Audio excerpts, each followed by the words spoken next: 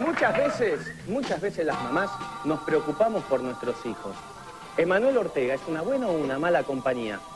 ¿Qué tenés vos, Mario? Realmente es muy importante lo que estás diciendo, Marcelo.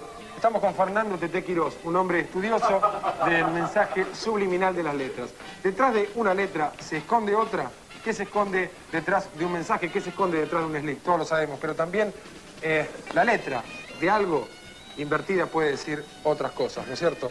Eh, Caserta, por favor, si podés pasar este videoclip, por favor, ¿lo podés pasar?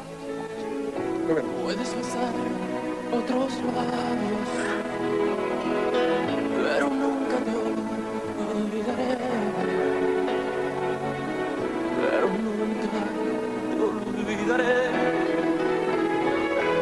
Pero nunca te olvidaré. Eh, hasta ahí, gracias, eh, gracias. Hasta ahí un videoclip que todos conocemos cuántas veces una hija se enamoró de este muchacho, cuántas veces una hija se quiso ir a las toninas con este muchacho a jugar al pool o a jugar con un delfín, por ejemplo. Qué lindo que es Enrique Iglesias, ¿no es cierto? Qué tipo copadísimo.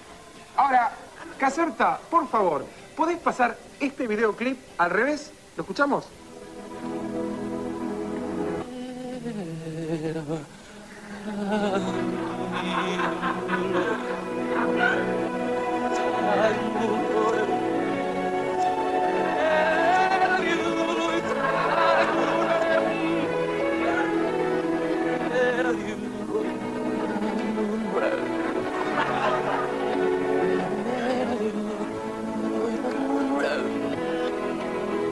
Eh, está bien, eh, te agradezco mucho, Caserta.